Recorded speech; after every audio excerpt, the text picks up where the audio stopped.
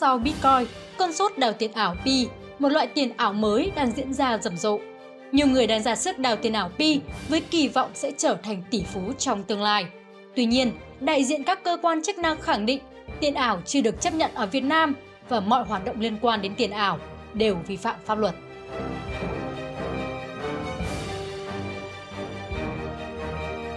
Pi được giới thiệu là có thể khai thác trên điện thoại thông minh thông qua ứng dụng miễn phí Pi Network và người dùng không phải tốn bất kỳ chi phí nào mà vẫn có thể làm giàu.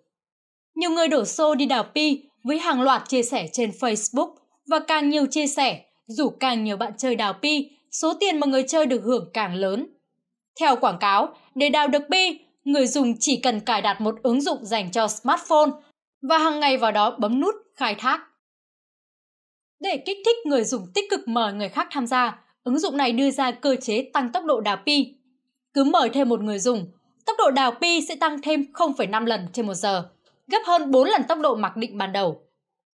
Ở thời điểm hiện tại, người tham gia đào pi không phải nạp bất kỳ loại tiền nào vào ứng dụng. Tuy nhiên, người dùng bắt buộc phải cung cấp thông tin cá nhân như số điện thoại hoặc tài khoản Facebook.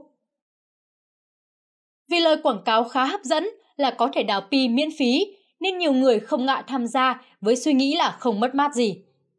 Người chơi cũng kỳ vọng tương lai đồng Pi cũng tăng giá như đồng Bitcoin.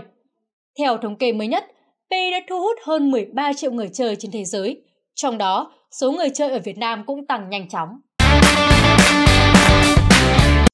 Theo Phó Giáo sư Tiến sĩ Ngô Trí Long, Nguyên Viện trưởng Viện Nghiên cứu Thị trường Giá cả, Bộ Tài chính, đồng Pi không có nguồn gốc rõ ràng nên không định giá được Người chơi vì thế không nên tin tưởng. Mô hình hoạt động của Pi đang giống mô hình của hoạt động đa cấp, lấy của người sau, trả cho người trước.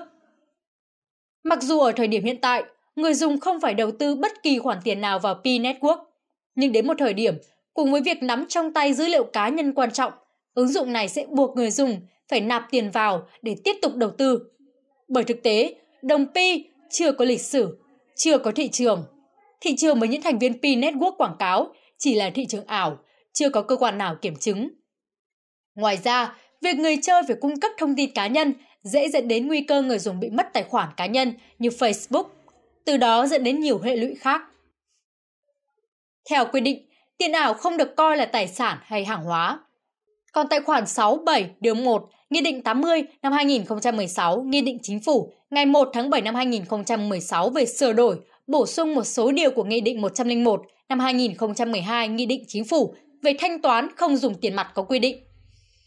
Phương tiện thanh toán không dùng tiền mặt sử dụng trong giao dịch thanh toán bao gồm xét, lệnh chi, ủy nhiệm chi, nhờ thu, ủy nhiệm thu, thẻ ngân hàng và các phương tiện thanh toán khác theo quy định của ngân hàng nhà nước. Phương tiện thanh toán không hợp pháp là các phương tiện thanh toán không thuộc quy định vừa nêu. Như vậy, đồng Pi không được chấp thuận tại Việt Nam, nên việc giao dịch đồng Pi hiện nay là trái pháp luật. Mới đây, Bộ Tài chính cũng cảnh báo về rủi ro, nguy cơ và hệ lụy của việc tham gia mua bán, giao dịch, đầu tư, kinh doanh tài sản ảo, tiền ảo bất hợp pháp.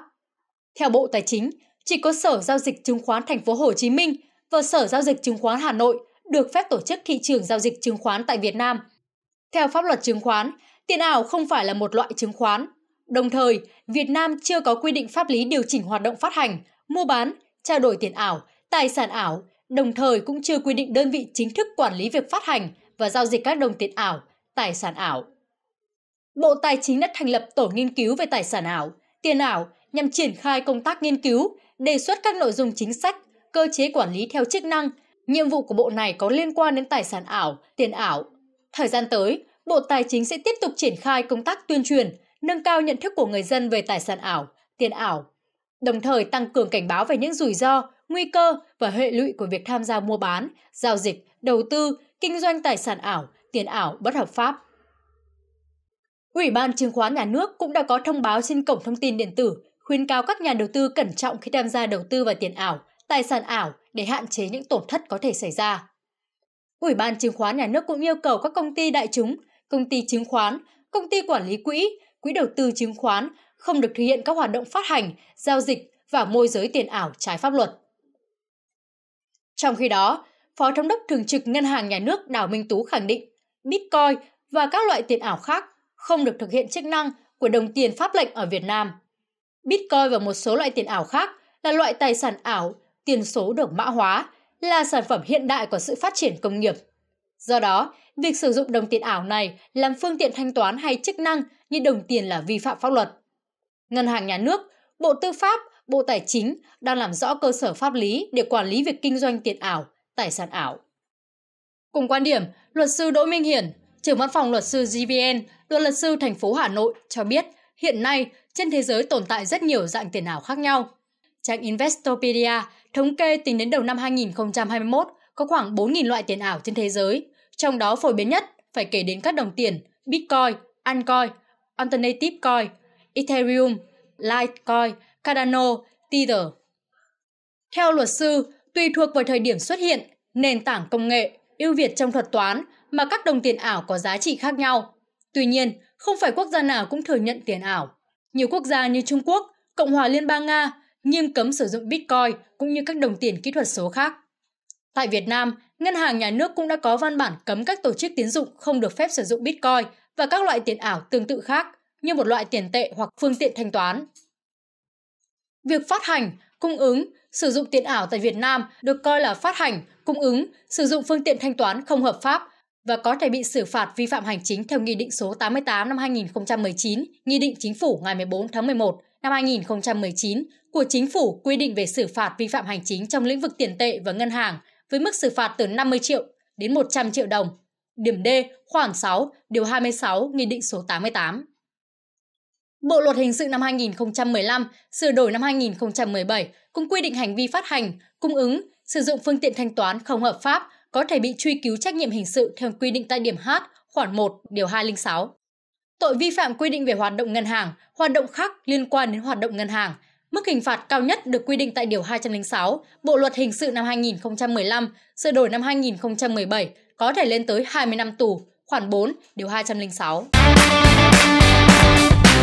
Ở Việt Nam, tiền ảo chưa được pháp luật thừa nhận. Do đó, với việc tham gia vào mua bán tiền ảo trên mạng, người dân rất dễ trở thành nạn nhân của các đối tượng lừa đảo. Người giao dịch, thanh toán tiền điện tử nếu gặp rủi ro hoặc xảy ra tranh chấp sẽ không được pháp luật bảo vệ, thậm chí còn liên đới chịu trách nhiệm khi giao dịch với tội phạm. Do đó, việc thận trọng là không thừa.